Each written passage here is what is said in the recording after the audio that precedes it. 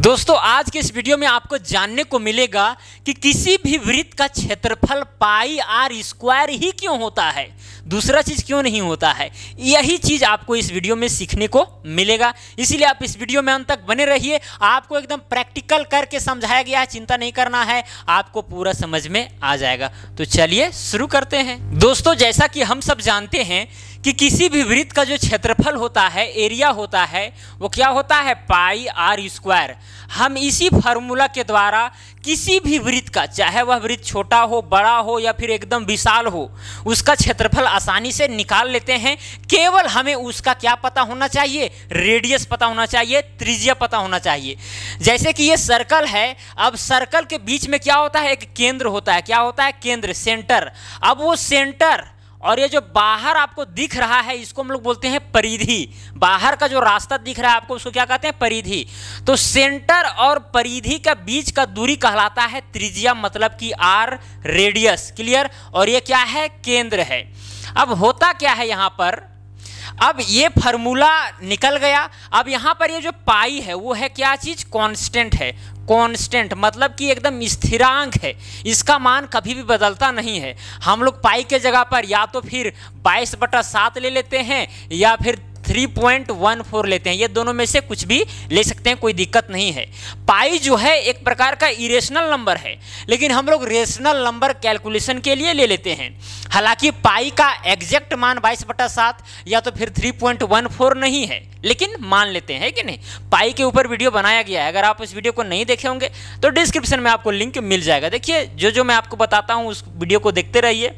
बहुत नॉलेज आपको मिल जाएगा। क्लियर ठीक है? तो इस फार्मूला के द्वारा क्या है कि हमें केवल पता होना चाहिए, ये इस आर का मान। किसका मान? आर का मान, यानी रेडियस का मान। पता है रेडियस क्षेत्रफल आसानी से निकाल सकते हैं। अब ये जो क्षेत्रफल है एक्चुअली लंबाई और चौड़ाई पर डिपेंड करता है, दो चीज़ पर। किस पर? एक लंबाई पर और चौड़ाई पर। क्षेत्रफल एक्चुअली लंबाई और चौड़ाई का गुणनफल ही होता है। इसीलिए ना, किसी भी चीज़ का क्षेत्रफल जो होता है, उसका यूनिट स्क्वायर में आता है, या तो वो मीटर स्क्वायर में रहेगा, या तो सेंटीमीटर स्क्वायर में रहेगा, या तो फिर किलोमीटर स्क्वायर में रहेगा, या फिर मिलीमीटर स्क्वायर रहेगा, या हेक्टोमीटर स्क्वायर रहेगा, नैनोमीटर स्क्वायर रहेगा, स्क्वायर ज़रूर लगता है। स्क्वायर क्यों ज़रूर लगता है? क्योंकि देखिए, हम जानते हैं कि जो क्षेत्रफल होता है, वो लंबाई गुना चौड़ाई से निकलता है। तो लंबाई भी हम क्या लेते हैं? मीटर में। मान के चलिए एक आयत है। क्या है आयत? लंबाई का आयत का जो क्षेत्रफल है, वो होता है लंबाई गुने चौड़ाई। अब इसका लंबाई हम मान लेते हैं पाँच मीटर और चौड़ाई मान लेते हैं तीन मीटर। तब क्या करेंगे? पाँच। गुना तीन करेंगे। अब यहाँ पर जो पाँच गुना तीन हम लोग जो पंद्रह लिखते हैं एक्चुअली यहाँ पर पाँच नहीं था, क्या था? पाँच मीटर था। और यहाँ पर तीन ना होकर के क्या लिखेंगे? तीन मीटर लिखेंगे। अब पाँच को गुना तीन से करेंगे तो पंद्रह हो गया। मीटर को गुना मीटर से करेंगे तो मीटर स्क्वायर हो गया। तो देखिए, इसीलिए यहाँ पर क्या हो जाता है? स्क्वायर हो जाता है। कोई भी यूनिट लगा रहे, अगर यहाँ पर सेंटीमीटर लगा होता तो सेंटीमीटर स्क्वायर हो जाता। अगर किलोमीटर लगा होता तो किलोमीटर का स्क्वायर हो जाता। तो यहाँ पर आयत था, हमको सही ढंग से समझ में आ गया। ठीक है? लेकिन इस वीडियो में हम जानेंगे कि भाई ये जो वृत्त का जो क्षेत्रफल पाई या स्क्वायर के द्वारा निकाला जाता है, आखिरकार ये आया कहाँ से? कहाँ से उद्गम हुआ इसका? और इसका मतलब क्या है? कि क्या इसमें लंबाई और चौड़ाई निहित है? जो हमें एरिया निकाल करके बता रहा है, ये सब इस वीडियो में आपको जानने को मिलेगा। और वो भी एकदम प्रैक्टिकली आपको हम प्रैक्टिकल करके बताएँगे कि भाई कैसे लंबाई और चौड़ाई यहाँ पर गुणनफल के रूप में है। हालाँकि यहाँ पर केवल रेडियस पता हो, जैसे कि मान के चलिए वृत्त है, अब यहाँ से यहाँ तक का लंबाई है 10 सेंटीमीटर कितना है? 10 सेंटीमीटर अब क्या करेंगे? क्षेत्रफल निकालना है तो ए इज़ इक्वल टू हो जाएगा। क्या हो जाएगा? पाई का मान हम जानते हैं कि बाईस बटा सात लीजिए, या तो फिर थ्री पॉइंट वन फोर लीजिए। चलिए थ्री पॉइंट वन फोर लेते हैं गुना कर देंगे आर स्क्वायर अब यहाँ आर के जगह पर दस सेंटीमीटर है तो हो जाएगा दस। तो दस का स्क्वायर कर देंगे तो थ्री पॉइंट वन फोर दस दाइए कितना हो जाएगा? सौ हो जाएगा। अब यहाँ पर गुना कीजिए तो तीन सौ क्या आ गया? चौदह अब किसमें था? सेंटीमीटर में। तो सेंटीमीटर स्क्वायर। देखिए, सेंटीमीटर स्क्वायर लग गया। है कि नहीं? यहाँ पर रेडियस ही जो है वो स्क्वायर हो जा रहा है। मतलब दो बार गुना किया जा रहा है। तो क्यों हो रहा है? ये आपको जानने को मिलेगा। देखिए, एकदम छोटा छोटा चीज़ आपको बताते हैं, ताकि कमज़ोर से कमज़ोर बच्चा भी समझ जाए। है कि नहीं? अगर आप जानते हैं ये सब बातें तो वीडियो को फास्ट करके देखिए। है कि नहीं? सारा चीज़ आपके हाथों में है। चलिए, इसको मिटा देते हैं। अब देखिए एक चीज़ मैं आपको सबसे पहले समझा देता हूँ, यहाँ पर जो पाई आप देख रहे हैं, आर का मतलब समझ रहे हैं कि भाई आर जो है, यहाँ पर रेडियस है, त्रिज्या है। लेकिन ये जो पाई कांस्टेंट है, पाई का मतलब क्या होता है? देखिए, पाई यहाँ पर एक्चुअली है क्या? सो देखिए, पाई बराबर होता है सरकम या फिर हिंदी में उसको हम लोग बोलते हैं परिधि डिवाइडेड बाय डायमीटर क्या होता है? डायमीटर ठीक है? डायमीटर कहने का मतलब है व्यास जैसे कि मान के चलिए, यहाँ से यहाँ तक आर है, और इसी चीज़ को एकदम खींच के यहाँ तक ले जाएँगे ठीक है? सीधा एकदम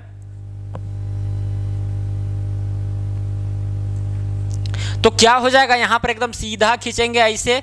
तो देखिए, यहाँ पर जो सीधी रेखा है, जो सर्कल को, जो सर्कल को दो बिंदु पर प्रतिच्छेद करता हो और केंद्र से होकर गुजरता हो, उस पूरी लंबी रेखा को हम लोग कहते हैं ब्यास। क्या कहते हैं? ब्यास। उसी को इंग्लिश में कहा जाता है डायमीटर, जिसको हम डी से दर्शाए हैं। अब ये जो ब्यास है, मान के चलिए यहाँ से यहाँ तक आर है। क्या है? आर है। इसको थोड़ा सा हम यहाँ ये वाला मिटा देते हैं। अब मिटाने के बाद में होगा क्या? कि यहाँ से यहाँ तक आर है तो यहाँ से यहाँ तक भी आर होगा।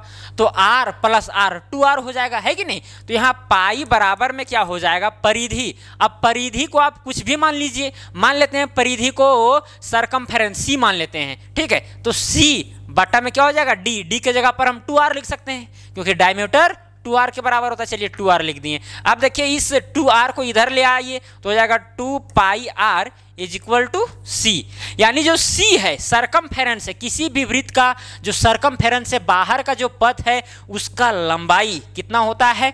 टू पाई आर होता है। हम टू पाई आर फार्मूला लगाकर निकाल सकते हैं। तो यहाँ से एक चीज़ यहाँ पर आया कि अगर इसका पूरा बाहर, किसी भी सर्कल का बाहर का लंबाई निकालना हो, एकदम अंतिम छोर वाला बाहर से, जिसको हम लोग परिमाप कहा करते हैं, लेकिन वृत्त के लिए एक स्पेशल नाम बोला जाता है परिधि, ठीक है? तो परिधि इस फार्मूला से निकलता है टू पाई आर से, ठीक है? अब ये जो परिधि का फार्मूला है, इससे आया, क्योंकि जो पाई है, जो कांस्टेंट है, वो परिधि और व्यास का अनुपात होता है एक्चुअली ठीक है? आप किसी भी परिधि या या फिर किसी भी व्यास वाला आप वृत्त ले लें, हमेशा ये कांस्टेंट रहेगा। 3.14 ही रहेगा। ये चेंज होने वाला नहीं है। चाहे वृत्त बड़ा रहे या छोटा रहे या फिर एकदम बिंदु के आकार का रहे, लेकिन हमेशा पाई का मान 3.14 ही रहेगा। ठीक है? समझ में आ रही बात? तो वही है पाई। अब यहाँ पर आपको समझ में आ गया कि भाई परिमाप कैसे निकालता है मतलब कि परिधि। अब सवाल सबसे बड़ा जो है आज की इस वीडियो का कि पाई आर स्क्वायर आखिरकार आया कहाँ से, इसको समझिए प्रैक्टिकली। देखिए, थोड़ा सा वक्त लगेगा, लेकिन हाँ वीडियो एकदम नॉलेजिबल है। समझिए इसको थोड़ा गौर से। सपोज़ कीजिए कि वृत्त है, क्या है? एक वृत्त है। देखिए, ये आप जो देख रहे हैं, ये क्या है? एक वृत्त है। अब इस वृत्त में आप देख सकते हैं, थोड़ा सा इधर बनाते हैं। सॉरी ठीक है? देखिए, ये वृत्त है। अब यहाँ पर ये जो वृत्त देख रहे हैं, इसके अंदर भी बहुत सारा वृत्त बनाया जा सकता है कि नहीं? यहाँ पर हम बना देते हैं। जैसे इसके अंदर और भी वृत्त एकदम सटा सटा कर और भी बनाया जा सकता है। इसके अंदर भी बनाया जा सकता है। ठीक है, और भी अंदर जाते जाएँगे जाते जाएँगे जाते जाएँगे। ठीक है, जाते जाते जाते जाते हम कहाँ मिल जाएँगे? केंद्र पर मिल जाएँगे। बहुत सारा यहाँ पर बनेगा, बहुत सारा, अरबों खरबों। क्योंकि जो वृत्त है, एक प्रकार का टू डायमेंशनल आकृति है। क्या चीज़ है? टू डायमेंशनल आकृति। मतलब इसमें केवल एक्स एक्सिस या तो फिर इधर एक्स मांगनी मानिए और इधर वाई मतलब केवल एकदम पूरा ये काल्पनिक पृष्ठ है, ठीक है? ये दिखता नहीं है, इसका मोटाई वगैरह कुछ होता नहीं है, ठीक है? जैसे मार्कर ये थ्री डायमेंशनल इमेज है आकृति है क्लियर और टू डायमेंशन को हम लोग छू नहीं सकते हैं, महसूस नहीं, महसूस कर सकते हैं, लेकिन छू नहीं सकते हैं, चलिए। तो देखिए, इस वृत्त को हम इस तरह से हम मतलब कि सोच सकते हैं कि नहीं, कि इस तरह से हो सकता है? क्योंकि वृत्त जो बाहर वाला आपको देख रहा है, बाहर का पथ, एकदम एक बिंदु, देखिए ये बहुत सारे बिंदुओं से मिलकर बना है। वृत्त जो है, अरबों, खरबों बिंदुओं से मिलकर बना है और जो बिंदु है और जो यहाँ पर एक निश्चित बिंदु रहता है, हर बिंदु का डिस्टेंस समान समान होता है और वो दोनों बिंदुओं के बीच की दूरी को हम लोग क्या कहते हैं, त्रिज्या कहते हैं, ये सब आपको पता होगा छोटा छोटा चीज़ है ठीक है? चलिए, अब यहाँ पर करेंगे क्या? अब यहाँ पर ये करने के बाद में हम इसको काट देंगे। क्या करेंगे? यहाँ पर देखिए बीचों बीच क्या किए? काट दिए। अब काटने के बाद इसको क्या करेंगे? खोलेंगे। है कि नहीं? जब वृत्त को इस तरह से काट देंगे और जब खोलेंगे, एकदम समझिए, एकदम रेखा है। अब यहाँ पर आपको थोड़ा सा एकदम पट्टी जैसा दिख रहा है, लेकिन एकदम नहीं। इसके अंदर भी एकदम अरबों खरबों इस तरह से है, ठीक है? बहुत सारा है, जिसको हम गिन नहीं सकते हाँ। हम बनाएँगे, थोड़ा इधर उधर हो जाएगा, इसलिए नहीं बनाते इतना ही बनाते ताकि आप समझ जाइए। बहुत सारा है, इतना है कि आप इसको, ये जो आपको अलग अलग दिख रहा है, ये दिखेगा भी नहीं। है कि नहीं? अब यहाँ से काट दिए, अब काट के करेंगे इसको अलग। क्या करेंगे? अलग। अब अलग जैसे ही करेंगे तो देखिए ये बाहर वाला अगर अलग करेंगे तो बाहर वाला थोड़ा लंबा हो जाएगा। तो देखिए यहाँ पर हर वृत्त को खोलने पर हमें इस तरह से प्राप्त होगा। ये जो यहाँ पर आप लंबी रेखा देख रहे हैं, ये बड़ा वाला वृत्त का परिधि है, बड़ा वाला वृत्त का परिधि है। अब उसके सेकंड में आएँगे तो वृत्त थोड़ा छोटा हो जाएगा। अगर छोटा होगा तो परिधि भी क्या होगा? छोटा हो जाएगा। उसके अंदर आएँगे तो भी छोटा हो जाएगा। उसके अंदर आएँगे वो भी छोटा हो जाएगा। छोटा होते होते होते होते एक हमें बिंदु यहाँ पर मिल जाएगा। क्या मिल जाएगा? बिंदु मिल जाएगा। यहाँ पर बहुत सारे वृत्त हम बना सकते हैं, अरबों खरबों, और यहाँ पर बहुत सारे अरबों खरबों इसी तरह का रेखा रहेगा। अब देखिए यहाँ पर क्या बन जाएगा? एक प्रकार का ट्रायंगल बन जा रहा है कि नहीं? देख सकते हैं क्या बन जा रहा है? एक प्रकार का ट्रायंगल बन जा रहा है। चलिए ट्रायंगल बना दिए। अब इस ट्रायंगल में, अब इस ट्रायंगल में ये वाला जो है, वो है टू पाई आर। आप कहेंगे, भाई, ये टू पाई आर कहाँ से आया? देखिए, अगर इस वृत्त का, ये जो बड़ा वाला वृत्त आप देख रहे हैं, अगर उसका रेडियस है आर तो स्वाभाविक है कि इस परिधि, इसका परिधि क्या हो जाएगा? टू पाई आर हम तो आपको पहले ही बता चुके हैं, देख सकते हैं कि किसी भी वृत्त का अगर रेडियस हो आर तो उसका जो परिधि है, यानी चारों ओर का लंबाई हो क्या होता है? टू पाई आर तो चलिए, टू पाई आर हो गया। तो यही वाला बाहरे वाला ना खोले थे? तो वही बाहर वाला अगर खोले हैं तो उसका लंबाई तो टू पाई आर ही रहेगा। है कि नहीं? अब इसका जो लंबाई है, वो एक्चुअली हो जाएगा क्या चीज़? आर हो जाएगा। हम थोड़ा सा खोल खोल करके क्या किए हैं? दूर दूर में लिखे हैं, इसीलिए थोड़ा ज़्यादा लंबा दिख रहा है। कोई दिक्कत नहीं है। हालाँकि एकदम ऐसे होना चाहिए, ऐसे। ठीक है, यानी त्रिभुज जो है, एकदम ऐसे बनना चाहिए, एकदम ऐसे। क्योंकि भाई परिधि वाला तो एकदम ज़्यादा लंबा ना हो जाएगा, है कि नहीं? और रेडियस तो कम ही ना रहेगा। लेकिन आपको समझने लिए चलिए, कोई दिक्कत नहीं है, कोई प्रॉब्लम नहीं है। ठीक है, अब देखिए यहाँ पर, ये टू पाई आर हो गया और ये वाला क्या हो गया? आर हो गया। हम जानते कि भाई किसी भी त्रिभुज का क्षेत्रफल जो है, कहाँ पर लिखें? थोड़ा सा हम चलते हैं नीचे की ओर, इसको ऊपर ले जाते हैं। हम जानते हैं क्या जानते हैं कि जो त्रिभुज का त्रिभुज का जो क्षेत्रफल होता है, वो होता है एक बटा दो गुने आधार। गुने क्या होता है? ऊंचाई होता है। अब यहाँ पर एक बटा दो लिख देंगे। अब आधार देखिए, आधार यही वाला रहेगा क्योंकि ऊंचाई इसी पर है। तो आधार है टू पाई आर और ऊंचाई क्या है? आर है। तो ये वाला जो टू है, ये वाला टू कट गया। तो क्या चीज़ बचा? पाई बचा। और आर को गुना आर से करेंगे तो आर स्क्वायर तो देखिए इस त्रिभुज का क्षेत्रफल क्या आ गया? पाई आर स्क्वायर आ गया। अब देखिए ये जो त्रिभुज बनाया गया था, वो किससे बनाया गया था? इस वृत्त से ही बनाया गया था। यानी इस वृत्त में जितना मेटेरियल था, उसी से एक हम बना दिए ट्रायंगल तो क्या हुआ यहाँ पर? इसका मतलब इस वृत्त का ही क्षेत्रफल क्या हो गया? वृत्त।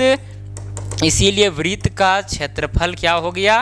पाई आर स्क्वायर हो गया और यही होता है जो आज के इस वीडियो में हम जानने वाले थे। एक और तरीका है, जिससे आप समझ सकते हैं। अगर आपको ये वाला तरीका नहीं समझ में आया होगा तो और भी तरीका है। चलिए, वो भी तरीका आपको थोड़ा सा बता ही देते हैं। मान के चलिए वृत्त है, एकदम शॉर्ट में ही बता देते हैं, ठीक है? ये क्या है?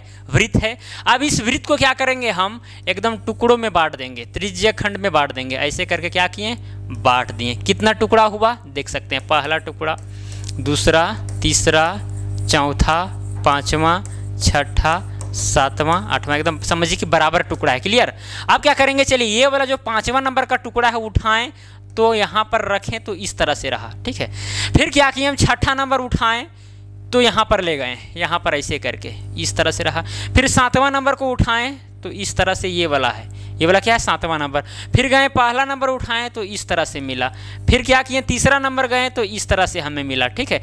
फिर इस तरह से करके, इस तरह से मिलते गया और इस तरह से। मतलब यहाँ पर देखेंगे, इससे होता क्या है?